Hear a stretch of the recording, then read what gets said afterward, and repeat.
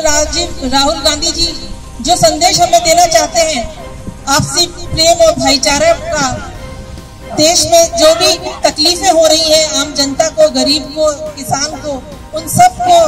उन तकलीफों से किस तरह से छुटकारा दिलाया जाए कांग्रेस ने मनाई पूर्व प्रधानमंत्री स्वर्गीय राजीव गांधी की पुण्यतिथि। ब्यावर के कांग्रेसियों ने स्वर्गीय राजीव गांधी के चित्र पर पुष्पांजलि अर्पित कर दी श्रद्धांजलि। ब्यावर से हेमंत साहू की रिपोर्ट। ब्लॉक कांग्रेस कमेटी एवं शहर जिला कांग्रेस सेवा दल के संयुक्त तत्वाधान में शनिवार को लॉयंस गार्डन में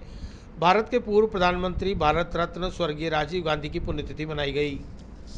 इस दौरान कांग्रेस सेवा दल राष्ट्रीय सचिव कल्पना भटनागर, कांग्रेस नेता दिनेश शर्मा, पूर्व सभापति कमला दगदी कांग्रेस नेत्री पुष्पांजलि पारिक, ब्लॉक कांग्रेस नेता सोहन मेवाड़ा, सेवादल जिलाध्यक्ष विक्रम सोनी व अन्य पदाधिकारियों ने स्वर्गीय राजीव गांधी के चित्र पर माल्यार्पण व पुष्प अर्पित कर उन्हें श्रद्धांजलि अर्पित करते हुए उनके बताए हुए मार्ग पर चलने का प्रण लिया। तत्पश्चात सेवादल राष्ट्रीय सचिव कल्पना भटनागर सहित पदाधिकारियों ने स्वर्गीय राजीव गांधी को सूचना क्रांति का जनक बताया व स्वर्गीय राजीव गांधी के जीवन पर प्रकाश डाला। इस मौके पर अनेक कांग्रेस जन मौजूद रहे। राजीव, राहुल गांधी जी जो संदेश हमें देना चाहते हैं,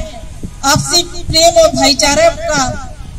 देश में जो भी तकलीफें हो रही हैं, आम जनता को, गरीब को, किसान को, उन सबको,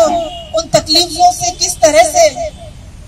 छुटकारा दिलाया जाए, उनके साथ ही हम किस तरह से बने, उन सबको किस तरह से ऊंच नीच का भेद मिटा करके वापस से देश को तरक्की पर ले जाया जाए, उसके लिए हम सबको सोचना है और हम सबको अपने तन, मन, धन से काम करना है। और अगर हम ये सब काम करेंगे